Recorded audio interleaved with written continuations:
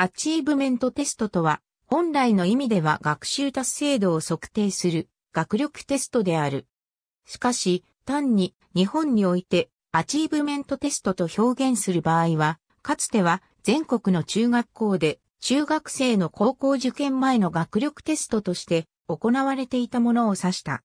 しかし、徐々に意味する対象を変えていき、近年では主として神奈川県で実施されていた高等学校入学判定に極めて重要だった試験を指すことが多い。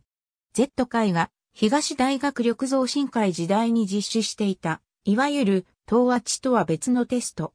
アテスト、またはアテストの略称で呼ばれ、中学校2年生の3学期の3月頃に実施される講座であった。表向きは学習到達度を確認する名目で、神奈川県下で一斉に実施された。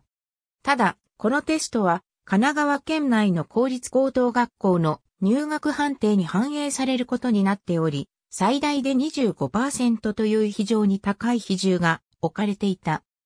アチーブメントテスト方式の利点として、一発勝負の要素が強い入学試験の比率を下げる、学力水準の高い中学の生徒の内申点が、他校の同程度の学力の生徒より低くなることを是正するというものもあったが、など、問題点が多く指摘されたため、1995年頃から段階的に廃止措置が取られ、1997年には全廃された。本人に通知されたものの実例。ありがとうございます。